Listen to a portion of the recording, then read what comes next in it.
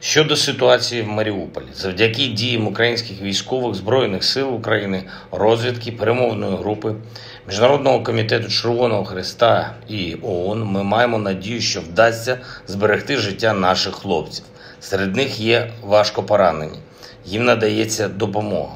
Хочу підкреслити, українські герої потрібні Україні живими. Це наш принцип. Думаю, що ці слова зрозуміє кожна адекватна людина. Операція з порятунку оборонців Маріуполя розпочата нашими військовими розвідниками. Щоб повернути хлопців додому, робота продовжується, і ця робота потребує делікатності і часу.